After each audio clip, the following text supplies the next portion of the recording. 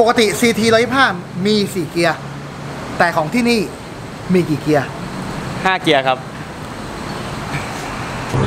หลังจากที่ CT 125 เปิดตัวได้ไม่นานครับ ก็เริ่มออกท้องตลาดละ ก็เริ่มมีการปรับแต่งโมดิฟายเอาให้เห็น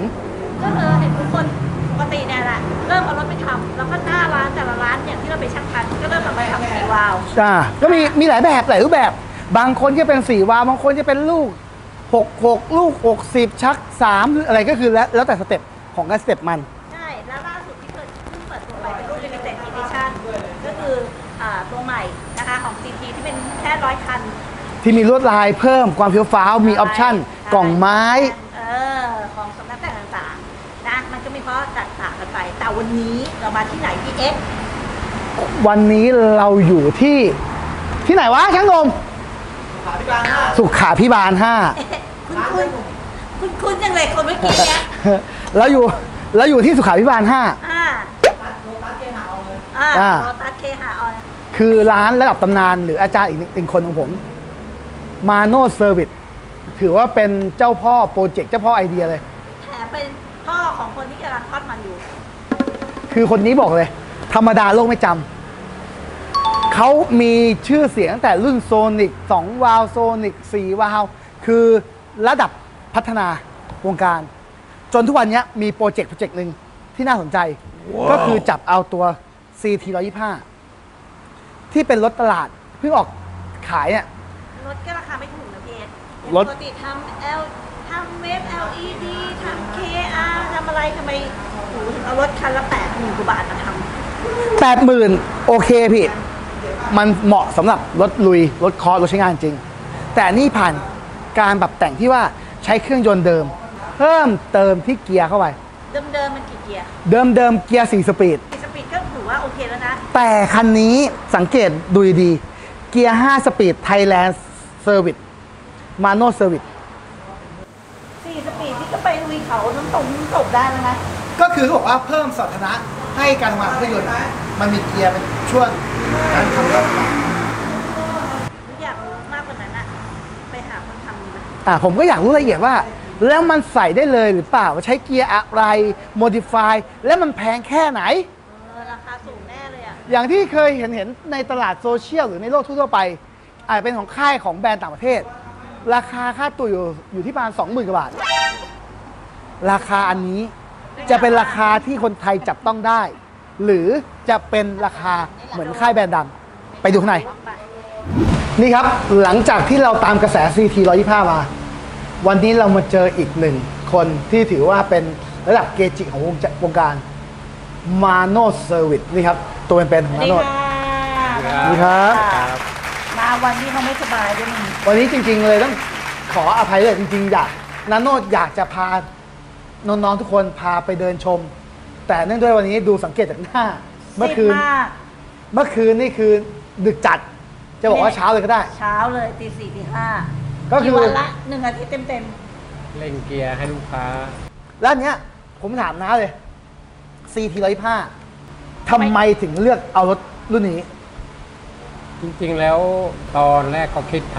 ำใช้กับรถแข่งรถคันเนี้ยเป็นอ่า ต้นแบบเป็นรถเป็นเป็นเวฟร้อยยี่สิบห้าๆร้อยห้าไอตัวนี้ คือทำเป็นรุ่นโอเพนเฮนบน ไอ้พวก6 5พวกอะไรอย่างเงี้ยอ่าอ่ามันก็มีลูกค้าของ CT เขาสนใจก็โทรมาติดต่อว่าใส่ได้ไหมเราก็บอกใส่ได้ แต่ว่าใส่ไปแล้วไอ้รุ่น CT เนี่ยมันมีระบบ ABS มาคุมความเร็ว คือมันเพิ่มมาจากเวฟถูกไหมใช่ มันเครื่องตัวเดียวกับเวฟครับ ถูกต้องไหมครับ เวฟร้อยห้าเครื่องตัวเดียวกัน ใช่ แต่ CT จะมีระบบเซ็นเซอร์ที่นอกเหนือมาอยู่ตรงสเตอร์หน้าใช่ คือ เซนเซอร์มันจะอยู่ฝั่งนี้ จะอยู่ข้างหลังนี่ตรงนี้ อ่าข้างหลัง จริงๆมันเป็นก็อัจฉริยะอยู่แล้วไม่ใช่เหรอคะนะ จริงๆแล้วก็คือ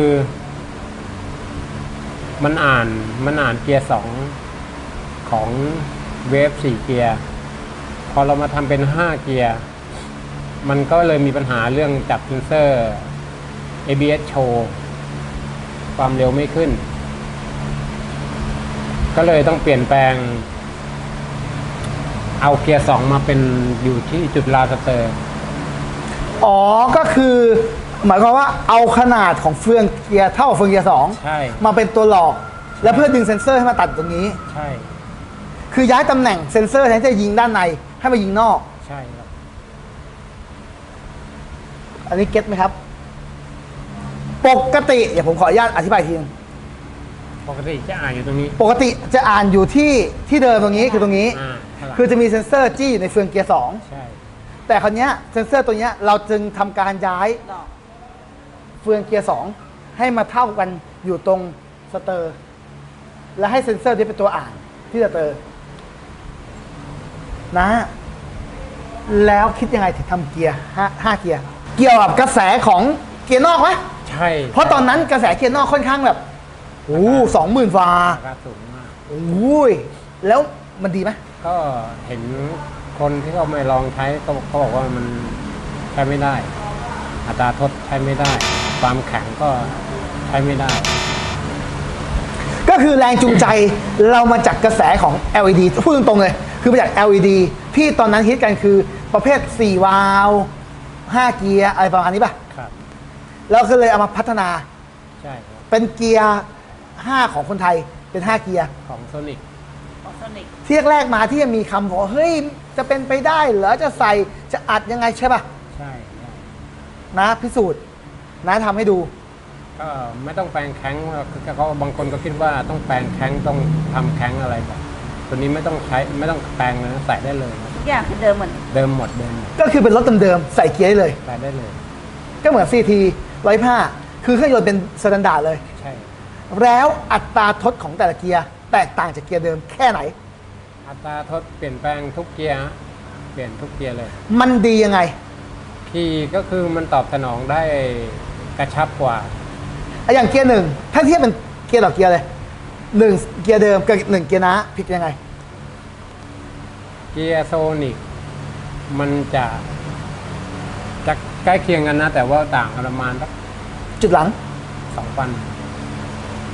ต่างกันสองปันแต่สองปันต่อเกียร์35หรือสามเจ็ดหรือสามห้า33แล้วอัตราทดเกียร์สองอะใกล้เคียงไหมก็เหมือนกันตามกันมา ก็ไล่มา ใช่ใช่และเกียร์ห้าไอ้นั้นไม่มีแต่น้ามี และเกียร์สี่นะ ถ้าเทียบเป็นสี่เดิมกับสี่นะใกล้เคียงไหมสี่เดิม ใกล้เคียงกัน ใกล้เคียงกัน แต่ว่า Sonic จะกระชับกว่านิดนึง ก็คืออาจจะตึงกว่านิดนึงก็คือจะจะใหญ่กว่า ใช่ครับ นิดนึง แล้วถ้าเผื่อเทียบกันสี่เดิมกับห้านะสี่โซนิกดีกว่า เร็วกว่าสี่โซนิกอัตราทดเร็วกว่า เร็วกว่า แล้วยิ่งมาเกียร์ห้าก็กระชับกว่า ไม่มันคือมันไม่ไม่มันไม่มันไม่ทิ้งช่วงยาวมาก คือช่วงเกียร์มันมันไม่ได้แบบว่ายานใช่ใช่คือช่วงรับ ช่วงเกียร์ต่อเกียร์มันกระชับครับ จริงๆรถเดิมๆมันน้ำหนักมันก็เยอะอยู่แล้ว พอเราทำห้าเกียร์เนี่ยอัตรามันจะดีขึ้นไหมก็คือเจ้าของคันนี้เป็นรถเดิมๆไม่ได้ทำลูกทำอะไรนะ แค่เปลี่ยนเกียร์อย่างเดียว ความเร็วลูกค้าลูกค้าไปขี่ test ไปพันกิโลนะเขาไป test มาพันกิโล แล้วก็เขาก็บอกอาการบอกอะไรเงี้ยบอกคือว่ามันเป็นยังไงอะไรเงี้ยตอบสนองนะ ความเร็วได้มาประมาณเกือบสิบห้าจากหมายความว่า รถเดิมๆถ้าวิ่งร้อยสิบใช่ กลายเป็นร้อยยี่ห้าใช่ขึ้นประมาณ 10 ประมาณประมาณโดยประมาณ และมันสามารถลงสเตอร์ได้อีกใช่ไหมลงได้เลย เพราะเราสามารถปรับเปลี่ยนอัตราทดไปแล้ว ใช่เพราะว่าคือคันนั้นน่ะลงมาจาก 39 ลงมาเหลือ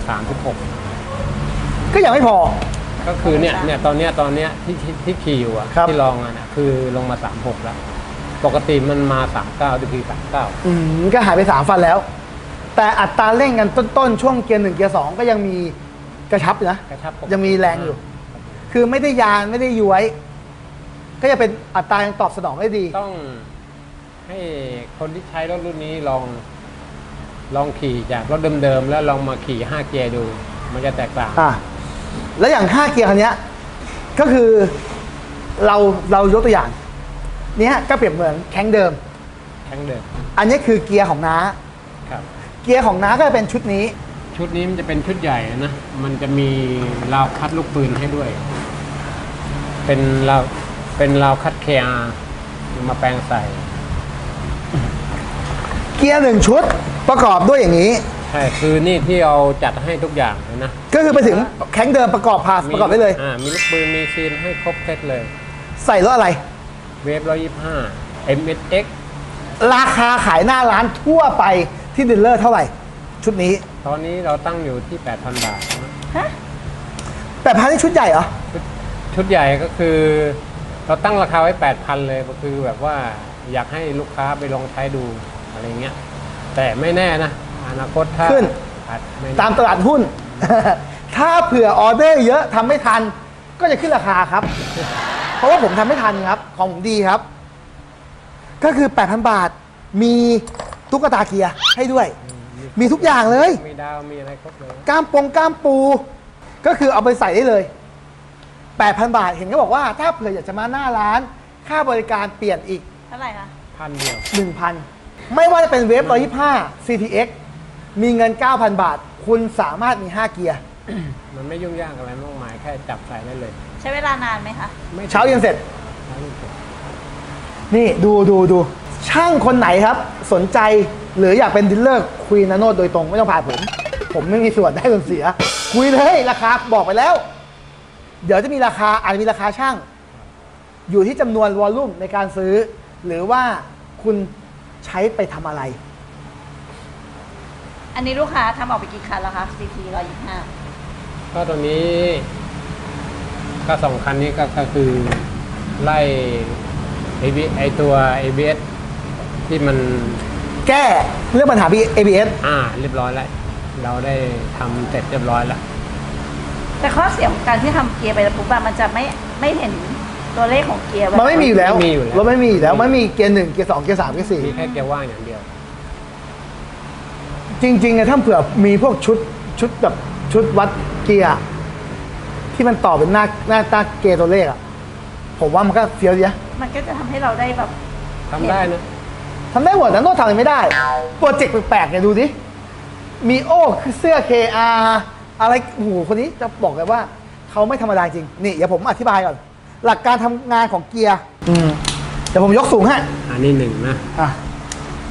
หนึ่งว่าง สองสองสาม เดี๋ยวมันต้องดูช่องสามเนี่ยช่องเสียบเข้าครับปุ๊สี่สี่ช่องห้าอะถ้าโน้ตไม่กลัวคนกอบเหรอคะนี่ครับเปิดห้าเกียร์ คอนกอล์ฟสี่ไหมกลัวไหมอะถ้าไอเดียนี้มันไม่ใช่ว่ามีใครจะทำได้นะ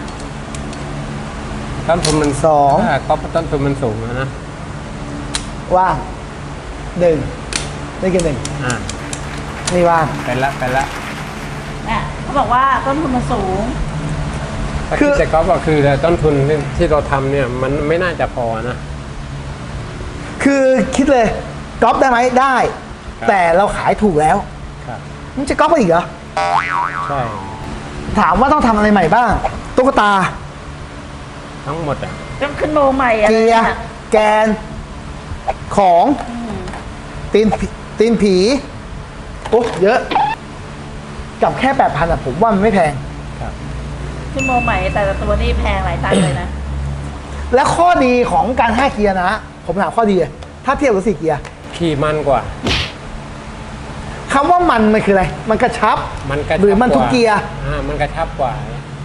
ช่องเกียร์มันมันมันไม่ห่างมากกัน คือปกติเอาไปอ่าตับอ๋ออ่ามีช่วงห้อย การอย่างนี้เลยการนี้แต่อันนี่คือเออเออเออเสียงเดียวเลย ลูกค้าคือถูกใจมาก คือมันเป็นจุดต่อยอด เกียร์คือปัจจัยสำคัญที่สุดของรถเกียร์ถูกไหมครับไม่ตั้งไม่ตั้งดงแดดโซนิกเคเเกียร์รถเกียร์คือรถเกียร์เกียร์คือองค์ประกอบที่สำคัญที่สุด พอ มาทำเกียร์มันคือจุดเริ่มต้นของการต่อยอดการโมดิฟาย ครับ มันเป็นตัวทำความเร็วของรถนะเกียร์นี่ไม่ใช่ว่าไม่ได้ว่ามันไม่ไม่สำคัญไม่สำคัญสำคัญเลยสำคัญเลยนะตอนนั้นค่อยค่อยไปโมดิฟายเครื่องอีกทีหนึ่งครับ นี่ครับ นี่เลยต้องบอกว่าเป็นไอเดียของคนไทย ฝีมือของคนไทย ที่พัฒนารถให้คนไทยได้ใช้กัน ในราคาที่คนไทยจับต้องได้ นะและเกียร์ของน้าเนี่ย มันมี5เกียร์ใช่ไหมครับ ก็เหมือนกับแบรนด์นอกที่เขาขายขายกัน ครับ แต่เป็นฝีมือของคนไทย นอกจากการที่เราใส่ในเว็บร้อยยี่ห้าเนี่ย มันมีรุ่นอื่นอีกไหมก็มีมังกี้เอ็มเอ็กมังกี้ก็มีมังกี้เอ็มเอก็มี ล่าสุดร้อยสิบนี่ร้อยสิบกำลังทก็จะมี แล้วที่มังกี้นี่ราคาเท่ากันไหมำ เท่ากันครับเท่ากันโอ้โหเขาไม่ได้มาเกียร์นอกอีกหน่อย คือนอกก็ไม่ได้ทำให้แล้วในเรื่องของการ service แต่ละเกียร์ในกรณีถ้าเผื่อเกียร์แตก มีอะไรไหมมีสบะมี มีอะไรแยกเป็นขายเป็นตัวเลย มีเป็นตัวเลย แพงไหมเอาสมมติสมมติตัวเอาตัวตัวตามมาสักตัวหนึ่งยกตัวอย่างตัวหนึ่งก็สามสี่ร้อย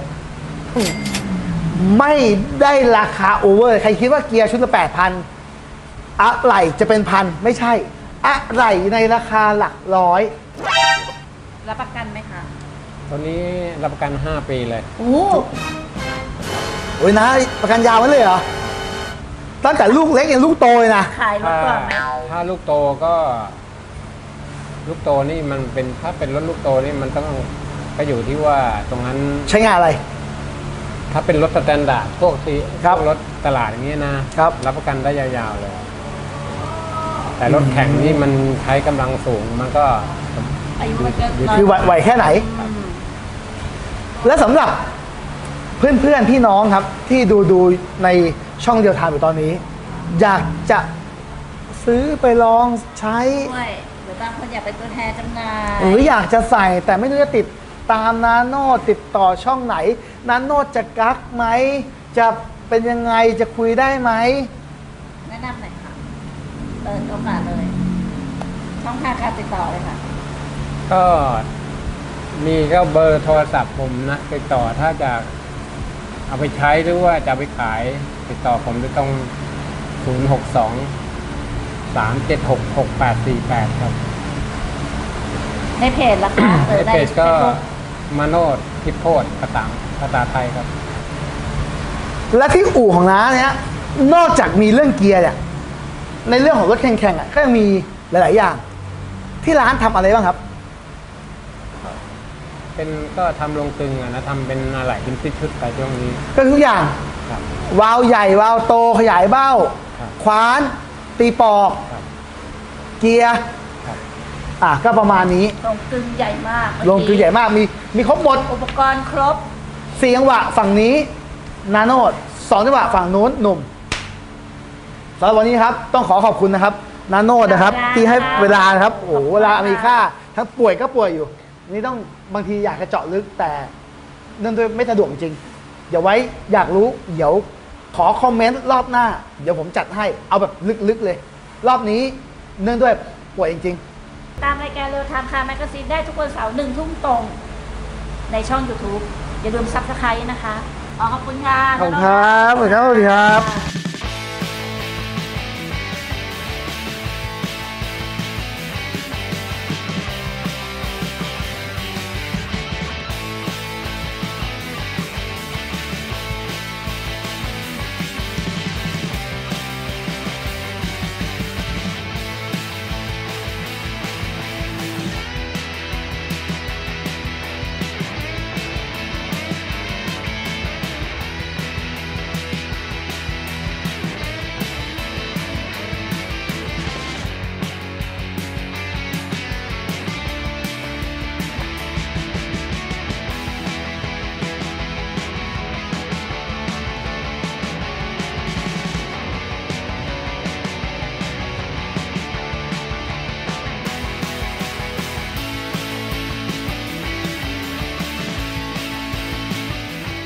ดี๋ยวเราจะพาเฟสเข้าตลาด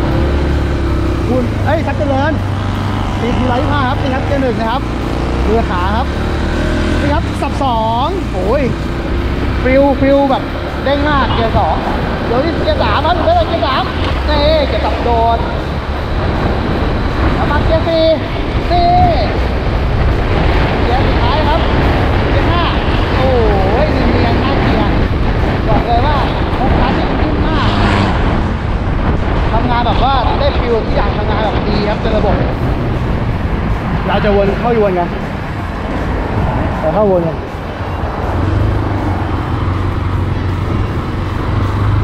ครับวนเกียหนึ่งเกียสองเกียสามเกียสี่แล้วก็นี่คือเกียร์ห้าใครต้องการช้าครับนี่ครับ บอกเลยเกียร์เขาแบบสมูทนะครับอัตรารถค่อนข้างดี ขนาดผมขับความเร็ว ไม่เยอะนะ เพราะว่าขับเร็วไม่ได้เลยวันนี้ เนื่องจากว่าเราไม่มีพื้นที่ให้เทสก็พาวนมาเรื่อยๆ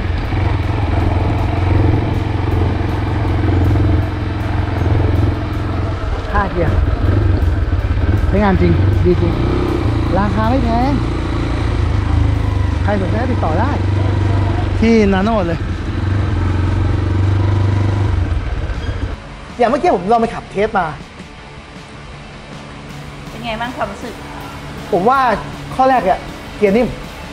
คือไม่ได้มีความแตกต่างอะไรของเดิม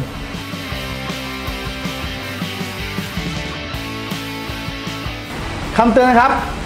สำหรับน้องๆอายุต่ำ18 นะครับ ต้องใช้จักรยานในการรับชม และต้องปักตะไคร้ก่อนฝนตกไมเฮ้ยกูกูจะถ่ายของกูแล้วมึงขอบคุณบอกก่อนเลย